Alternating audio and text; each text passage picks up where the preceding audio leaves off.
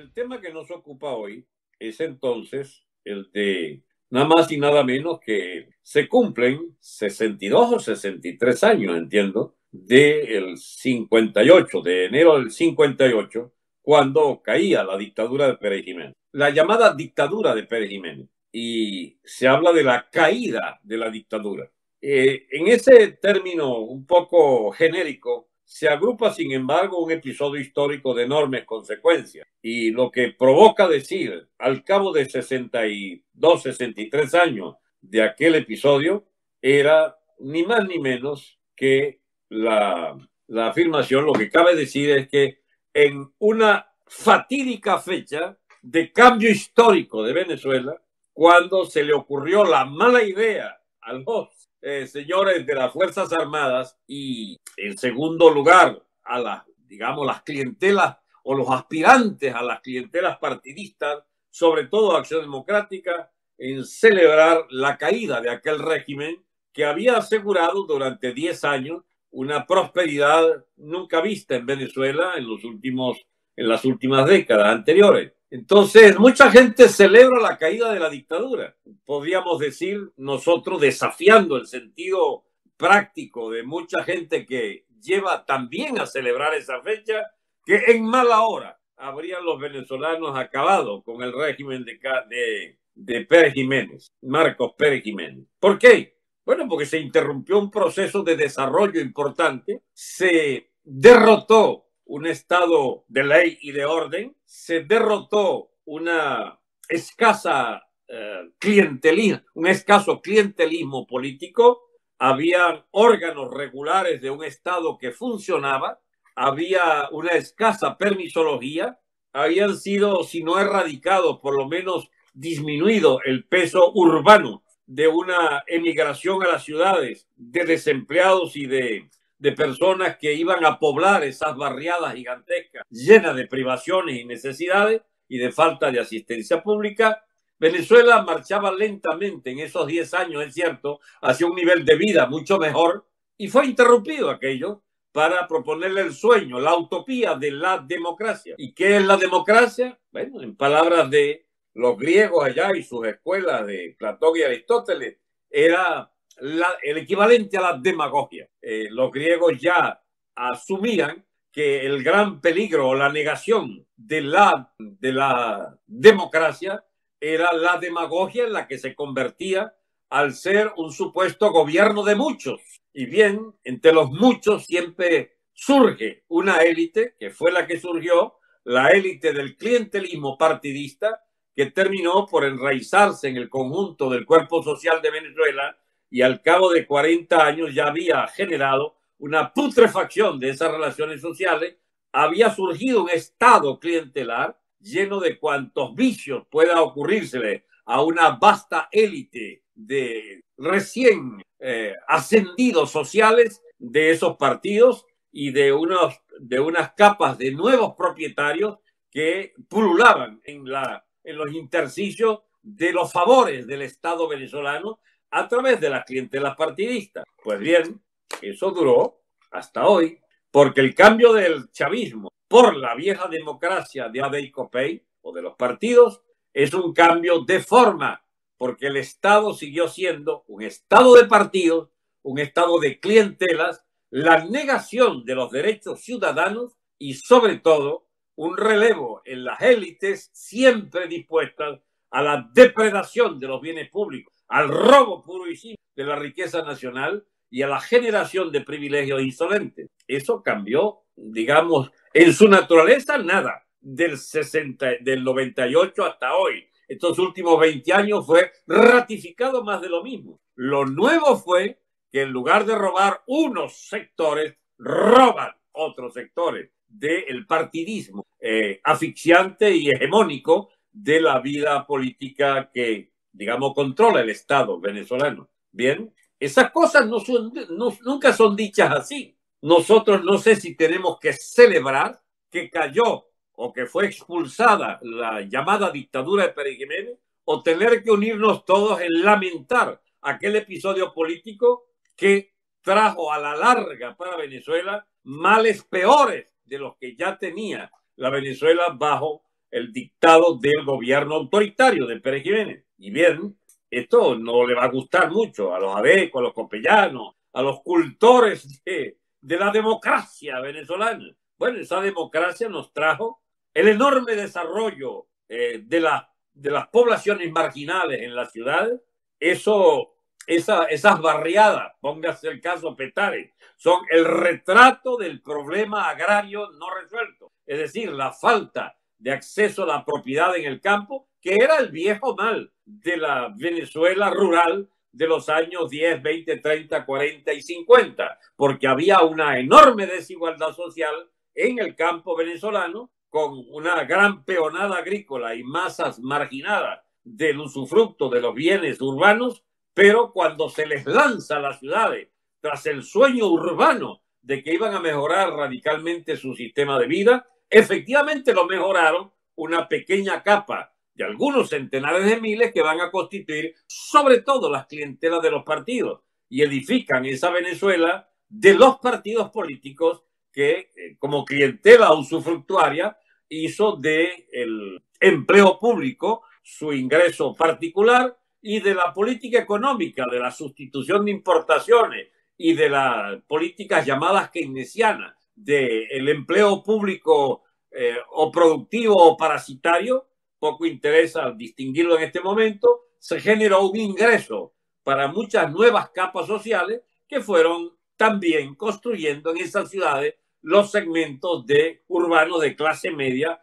que también coexisten con las grandes barriadas. No hay Cafetal, eh, Prados del Este, Guaparo o Prevo en Valencia o, o qué sé yo, eh, digamos el sector norte, Barquisimeto, etcétera. Eso no existe sin las barriadas gigantescas de los desplazados, de los hundidos socialmente, que son los, los antiguos peones o hijos de peones o nietos de peones agrícolas y de sin tierras de toda Venezuela, eh, hijos y nietos de las masas de analfabetos que poblaron entonces las ciudades y se hicieron miembros de los partidos, votantes de los partidos, clientes de los partidos, empleados de la economía de los partidos políticos, de la llamada democracia, eh, punto fijista. Y al final, en medio de la crisis social que incubó en los intersticios de ese cuerpo social eh, en putrefacción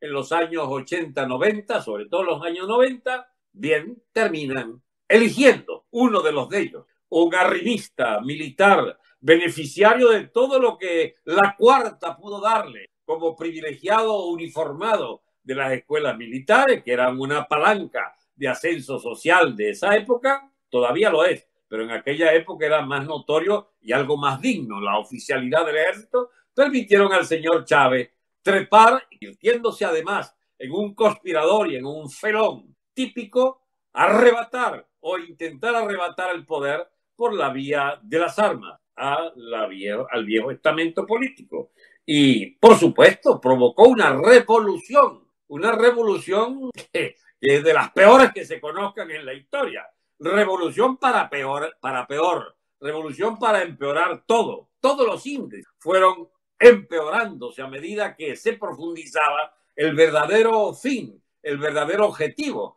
de aquella nueva casta social que se adueñaba del Estado. Los oportunistas de tercera y de cuarta, los arribistas, la ladronera de Ade y Copey, transformada en ladronera roja y con derecho a robar en forma y, ¿cómo se llama? Ah, legalmente, estableciéndose como capa dominante social, generando toda clase de ideologías y de mí alrededor de la revolución socialista chavista del socialismo del siglo XXI, enos aquí, en medio de la barbarie absoluta, habiendo destruido lo poco bueno que había de esos 40 años anteriores. Que si hubo cosas positivas, por supuesto que la hubo, pero algo de fondo muy gravemente deficiente generó esa capa de este, revanchistas sociales, esa capa de favorecidos corruptos que no les era suficiente con la corrupción de Adecopey y prefirieron fundar un partido nuevo, el Partido de la Revancha Social, el partido del PSV, primero MNR, Quinta República, que entonces le dio a ellos la posibilidad de siendo poseedores, propietarios de su estado, de patas en el suelo, como lo llamó Chávez, este, hacerse pues de un control directo del presupuesto y saquear la República, además de mal gerenciarla al punto de hacer estallar todo, de hacer reventar todo, de haber de depredar todo lo que era la propiedad pública gigantesca de Venezuela y transformarnos hoy en un país sin propiedad privada, que fue eliminada de hecho al cambiar de régimen de la cuarta por la quinta y sobre todo eh, una propiedad estatal que no solo ya es improductiva, sino liquidada como espacio físico. Sidor, la empresa de Guayana, PDVSA, todo eso fue reventado. Las explosiones, la, la, ¿cómo se llama? Todo lo que es el deterioro de todas maquinarias, equipos, instalaciones. Esta plaga del chavismo durante estos 20 años, 21, ha significado entonces que aquello que se acumuló en los 40 y muchos más años de todo el siglo XX, desde la Venezuela petrolera inicial de Gómez hasta 1998, qué casualidad, arranca el siglo XXI con ese 99 de la transición entre los dos regímenes, con el plan de Chávez de la dictadura de los pates en el suelo, según él, en realidad es la dictadura de sus hermanos, de sus primos, la dictadura de los congéneres, de las amantes, de las, ¿cómo se llama?, de, de las queridas, eh, la, dictadura de la casta social, esta de militares o civiles, eh, ha llegado pues al mundo de las corruptelas como eje de vida para apropiarse de los bienes del Estado y transformarlos en cuentas privadas. La élite gobernante venezolana, que rápidamente vio cómo se podía quedar fuera del festín, fue casi que bautizando sus polluelos. El, el, nuevo hijo educado en Harvard o educado en universidades americanas que se devolvía ansioso a la tierra de sus padres a ser el representante de cada uno de esos apellidos en la usurpación de la propiedad de Estado, en la gerencia de la propiedad de Estado, en la malversación de la propiedad de Estado y convertirse en esa capa de malandrines de la boliburguesía y de los bolichicos, que son la expresión más genuina, la expresión histórica más acabada y elaborada de este régimen social, porque los bolichicos abarcan los paten en el suelo y los adinerados oligarcas de Venezuela fusionados bajo la égida de Chávez primero y de Maduro luego en esa casta de propietarios del, Estado y de sus ingresos y conformar esta inmensidad de riqueza llevadas a los bolsillos de los depredadores de ambos segmentos sociales de origen de la Venezuela, del chavismo madurista, que hoy nos entrega este balance histórico, el de querer añorar al gobierno autoritario de Pérez Jiménez, porque no hay ninguna duda que aquello era infinitamente mejor que esta plasta que han puesto los oligarcas y rojos, azules, blancos, amarillos, que nos han hecho heredar esta pobre Venezuela de la barbarie, de la hambruna y de la delincuencia masiva, del pranato, del saqueo de nuestra riqueza a manos de potencias oportunistas que tratan rápidamente en rehacerse o resarcirse de los préstamos y, facilidades que le dieron a la casta roja gobernante a lo largo de todos estos años. Gran perdedor en este festín, los Estados Unidos, no tanto, porque últimamente han repuesto algunos de sus vínculos con esa casta gobernante en Venezuela, este, y bien, y ahora se aprestan todos a pactar, no sé qué van a pactar. Lo que se haga en Venezuela está destinado a vivir convulsamente en medio de crisis tras crisis, porque una vez que arruinaron el, el espacio físico, una vez que fracturaron el Estado, y transformaron Venezuela en una colcha de retazo de pranatos gobernantes en cada territorio, por pequeño que sea, y cada empresa estatal y cada servicio público en tierra de codicias de cada uno de los que le toca administrarlo, transformándolo en un bien particular, desde una bomba a gasolina hasta una exportación si es que queda algo, o las minas, o todo lo que signifique servicios que antes pudieron hasta ser rentables y hoy son el coto de casa de cada uno de estos planes políticos, planes financieros, que también existen porque existe el manejo de la deuda y el manejo de los intereses de la deuda y los bonos de la deuda. Todo eso es todo bajo la disciplina de una casta de politiqueros y de, y de ladronzuelos de baja estofa, de origen aristocrático y de origen plebeyo pata en el suelo, que se han fusionado en esta clase política y económica y financiera, propietaria, regente, gestora, como la quieran llamar, de la Venezuela del madurismo, castrismo. En mala hora, en 1958, hacíamos causa común con el joven Fidel Castro, aún en la Sierra Maestra, a la que se le envió un barco, ¿cómo se llama? Un, avión de, de, armas, etcétera. Uno de los que viabilizó eso fue el hermano de Wolfgang Larrazábal, Carlos Larrazábal, a la sazón de la Junta Militar, Wolfgang, su hermano, y eh, bueno, la izquierda de URD con aquel famoso Fabricio Ojeda, miembro de la Junta Patriótica, y Cabeza Caliente, como los nuevos adecos eh, que rompiendo con el partido constituyen el MIR, y ya el año 59 están en, la, en el preámbulo de lo que será la lucha guerrillera del 60, 62, 61 en adelante, el Partido Comunista de la clandestinidad perjimenista pasa a la adoración sin límites del propio gobierno fidelista, del cual eran socios los comunistas cubanos, y vemos entonces la solidaridad inmediata de aquel país que rompe con la dictadura de Pérez Jiménez y se va al apoyo militante hacia la revolución cubana, ocasionando la desgracia cubana desde el primero de enero del 59 hasta hoy porque esos padecieron lo que nosotros padecemos hoy, lo padecen desde hace 60 años, cuando la famosa revolución cubana acabó con la propiedad privada, con las empresas, acabó con la nacionalidad cubana para convertirse en un pueblo chulo de agentes de la potencia que compre los servicios de la casta política criminal del chavismo, del, del castrismo en el poder. Los fugados de Cuba, centenares y centenares de miles en oleadas que fueron a parar a los Estados Unidos, a ellos les corresponde el patrimonio histórico de la reconstrucción de la idiosincrasia del gentilicio cubano y seguramente tendrán en el futuro una oportunidad, una segunda oportunidad sobre la tierra, porque han esperado, defendiendo sus tradiciones, su cultura, su música, han, su lengua sobre todo, han esperado para la gran reconstrucción. Nunca creímos, para serles sincero, que nos íbamos a parecer tan a la, a la nación cubana. Digo la nación en el mejor sentido del término. Los pobladores cubanos o los pobladores venezolanos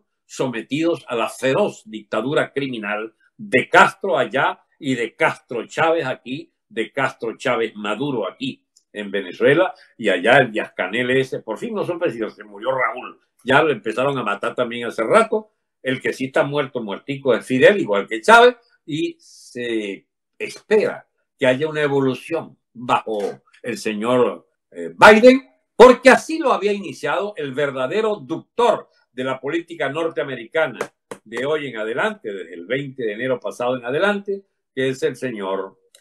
este, Obama el señor Obama. Es el, tercer periodo, el tercer mandato del señor Barack Hussein Obama.